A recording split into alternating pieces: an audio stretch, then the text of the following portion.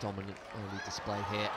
Demar trying to go through again, Sevecke in the way, and Galley, and then Martin with the shot. And MacIver parries.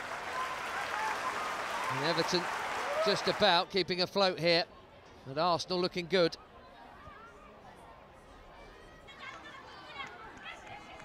Heath. Good hit. Pushed away to safety by MacIver again.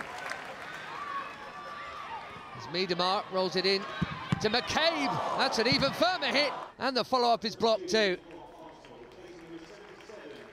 One-way traffic in terms of the shots on goal in this game. It's another blast from McCabe, who is everywhere today.